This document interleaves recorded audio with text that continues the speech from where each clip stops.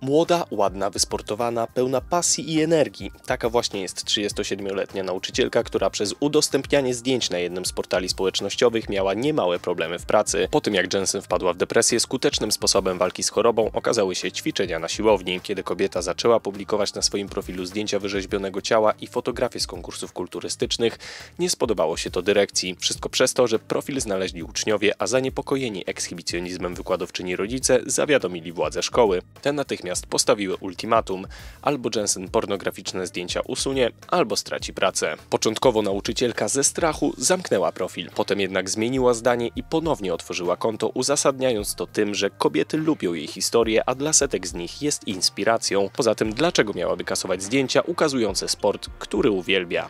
Po interwencji lokalnych mediów dyrekcja poszła po rozum do głowy i odstąpiła od zwolnienia 37-latki. W zamian za to w szkole zorganizowano lekcje dla rodziców z zakresu odpowiedzialnego korzystania z internetu.